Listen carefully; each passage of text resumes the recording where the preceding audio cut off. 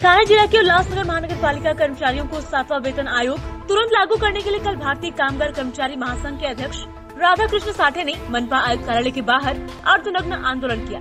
उल्लासनगर महानगर पालिका के कर्मचारियों को सातवां वेतन आयोग लागू करने के लिए भारतीय कामगार कर्मचारी महासंघ ने इससे पहले भी आयुक्त कार्यालय के बाहर गेट के सामने पोतराश आंदोलन किया था। उसके बाद एसडीओ कार्यालय पर लोटांगन आंदोलन किया था। मनपा प्रशासन को भारतीय कामगार कर्मचारी महासंघ के अध्यक्ष राधा कृष्ण साठे ने कई बार लिखित रूप से निवेदन द्वारा मांग की है। लेकिन मनपा आयुक्त डॉक्टर राजा दानी उस मुद्दे पर बिल्कुल ध्यान नहीं दे रहे हैं। इसलिए कल संगठन के अध्यक्ष राधा कृष्ण साठे ने मनपा आयुक्त कार्यालय के बाहर अर्धनग्न आंदोलन किया है। संवाददाता Ravindra V S news Ulhasnagar, Maharashtra.